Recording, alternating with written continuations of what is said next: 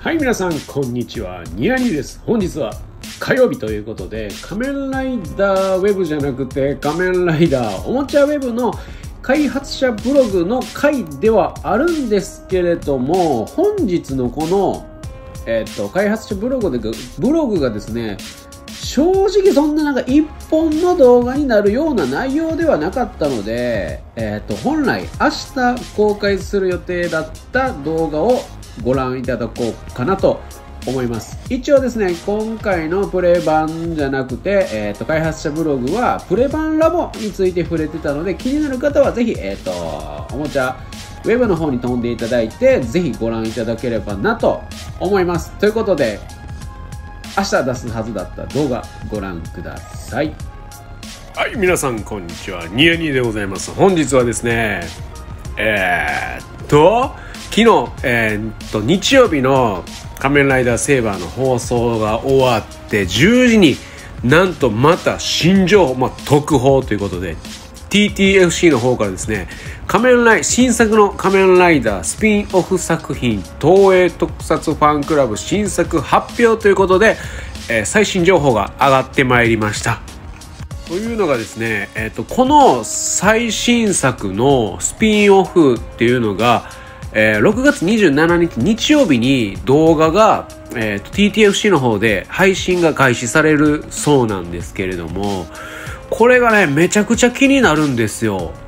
あの、皆さんもこの予告編見ました。35秒ぐらいのすごい短い予告編なんですけれども、もう文字しか出てこない、何のヒントもない予告編となっております。で、えー、っと、ここに考察要素があるのかなと思ったんですけれども、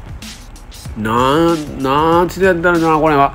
えー、っとね、このね、概要欄を見ると、えー、今度はあの仮面ライダーとあめあの仮面ライダーが交わる。そして共闘する。そしてそこに現れるのは点点点っていう感じで東映特撮ファンクラブ独占仮面ライダーの最新スピンオフ作品は6月27日日曜日仮面ライダーセーバーテレビ放送内の CM で発表。しかも同日配信開始。なんと仮面ライダー仮面ライダーの作品でどんな内容なのか。6月27日放送の仮面ライダーセーバーを最初から最後までお見逃しなくということで書いてるんですけれどもこれちょっとね考察要素は特にないのでどうしようかなと思ってたらですねちょっと今撮ってるのがね月曜日なんですけれどもなんとね、たまたまプレイ版見たら、こういう商品が、えー、っと、新作として予約開始されてたんですけど、そう、この寝台 T シャツなんですけれども、寝台剣と寝台涼が寝台麗華の、えー、っと、これはね、寝台涼が麗華は兄弟なんですけど、あの、サソードの方は、多分何の関わりもないんですけど、寝台という名字が一緒なだけで T シャツが販売されてて、えー、日曜日にこのスピンオフ作品が発表されて、えー、その次の日に T シャツが発売されるっていう、この何とも言えない素晴らしいタイミング。なので、この、あの仮面ライダーとあの仮面ライダーというのがもしかしたら仮面ライダーサソードと仮面ライダーデュランダルのことを指してるんじゃないかなと思ったりもしたんですよね。っていうのもですね、このえっ、ー、と、YouTube の方で流れてた35秒の予告動画なんですけど、使われている色が主に青と紫なんですよね。そうで、えっ、ー、と、このさっき言ったサソード紫、デュアンダルが青ということで、一応ここでは仮面、あの仮面ライダーとあの仮面ライダーってことで、二人の仮面ライダーが出会い、共に戦うって言われているので、まあ一旦ここは麗華様を抜いた男二人が共闘するお話なのかなとは思うんですけれどもまあなんと言ったらいいんでしょう。まあ主役級を飛び越えてデュランダルなんて仮面ライダーセーバーで言えばまあバハトもファルシオも入れれば11号ライダーなんですよね。でえー、っと、サソードもね、登場がね、めちゃくちゃ遅かったと思うんですよね。最後の方ちゃうかな。えー、っと、順番はちょっとわからないですけど、だいたい1、2、3、4、5号ライダー、6、5号ライダー1ぐらいに位置する仮面ライダーなんで、ちょっと、この2人のコラボ作品っていうのは何とも考えづらい部分もあるんですよね。でまああの仮面ライダーサソード役の山本裕介さんに関しても結構やらかしてる人なので今一応なんか CM とかちょこちょこ出てはいるんですけどそのリブマックスっていう会社の CM とかにはよく出てるんですけどそれ以外はねほぼ見かけないんですよね。僕も一回そのあの人は今で取り上げてるぐらいなのでだからねここは現実的じゃないんかなと思ったりもするんですよね。でまあその他一応第一候補としては仮面ライダーサソードと仮面ライダーデュランダルのコラボ作品ではないかという予想。プラスもう一つさせていただくとするとまあ仮面ライダー、えー、アギトが今年20周年で何にもやってないんですよね。あの CSM ぐらい発売するぐらいで何もされていない。ということでまあ結構その、ね、スーパーヒーロー戦記にも出そうな気もするんですけど20周年ではあるので。で今回考えたのが、えーと、この青と紫っていうのは結構仮面ライダーのカラーとしてこうなんかこう示唆してるんちゃうかなと思ったんでアギトの紫はおらんから青で言えば、まあ、G3 の、えー、要潤さんは現役バリバリで俳優をされている俳優さんでもありますし。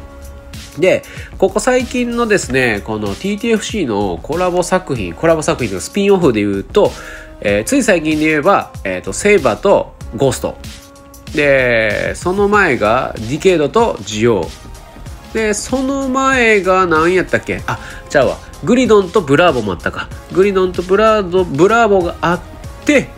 えー、その前にブレン。ってあったんですけどここ最近の作品で見てるとえー、っとねああとあれかゲームのゲームのあれ何やったっけ？プレゲーム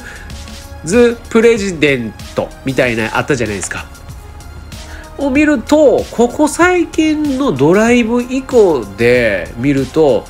ビルドだけ空白があるんですよね。で、まあ、ビルドで言えば青のライダーは、えーと、クローズがいるし、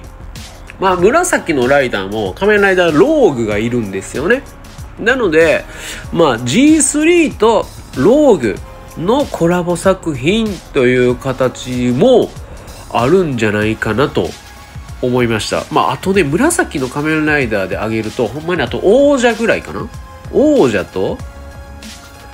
結構少ないので、まあ、王者は今ここで関わってきそうにもないし、まあ、個人的に結構王者好きなんですけれど、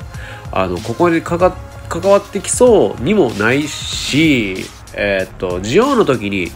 えーと、仮面仮面ライダー龍騎のスピンオフはされてるので、まあ、龍騎は一旦ないとしてやっぱりアギトはここに関わってきそうな気はするんですよね。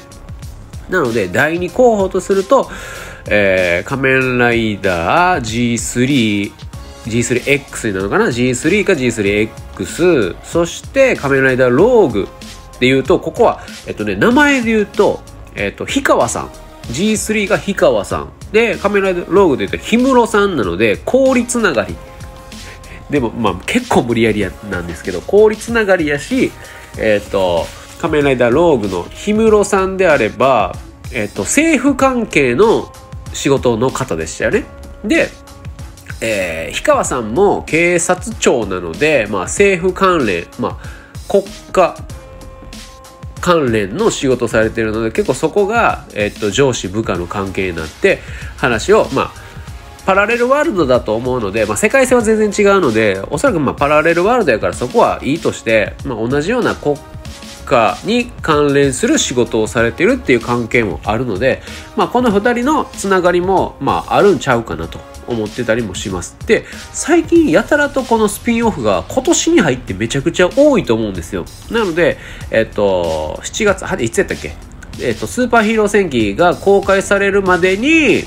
えっと、こうやってスピンオフで登場してきた仮面ライダーっていうのが、全て話がつながってスーパーヒーロー戦記につながっていくんじゃないかなと思ってたりもするので、まあ、もうね、前売り券も発売されているので、えーと、楽しみにしていきたい部分ではあるんですけどそれをまずまあ来週再来週ですね6月27日の「仮面ライダーセーバー」テレビ放送内の CM で発表されるこの新しい新作の、えー、スピンオフ